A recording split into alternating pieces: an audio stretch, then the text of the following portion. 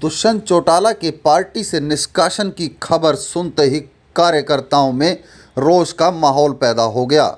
इसके साथ ही कार्यकर्ताओं ने पार्टी को छोड़ने का फैसला लिया। कई पदाधिकारियों ने पार्टी से त्यागपत्र दे दिया।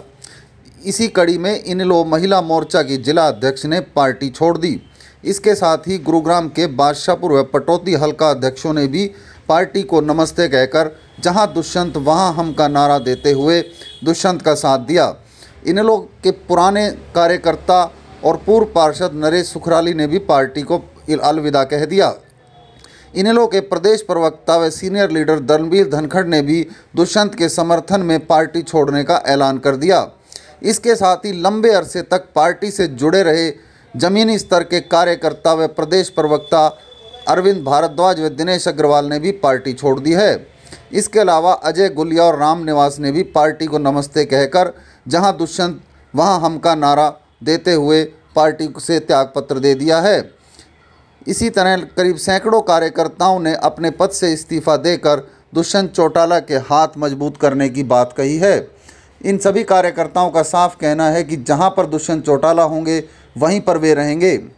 इस सबको लेकर पार्टी में इस समय हड़कंप का माहौल है।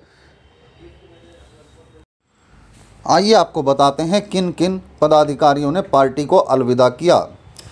युवा जिला प्रचार सचिव विक्रम छोकर, युवा जिला महामंत्री रविंदर सिंह रोहा, युवा उपाध्यक्ष कपिल शौकीन इंसो प्रदेश उपाध्यक्ष अमरपाल राठी, सोहना के पूर्व हल्का अध्यक्ष शैलेश खटाना इनलो के पूर्व युवा जिला अध्यक्ष नरेश सहरावत, पटौदी के जिला अध्यक्ष, हल्का अध्यक्ष महेश चौहान, इनलो के पूर्व जिला युवा अध्यक्ष, इनलो के गुरुग्राम व पूर्व युवा महा, महासचिव सुरेंद्र ठाकरान, गुरुग्राम महिला सेल की अध्यक्ष सुनीता कटारिया सहित बादशाहपुर हल्का अध्यक्ष ऋषिराज राणा ने पार्टी को अलविदा कह दिया। बादशाहपुर के युवा हल्का अध्यक्ष कृष्ण गालोडी ने भी पार्टी को अलविदा कह दिया।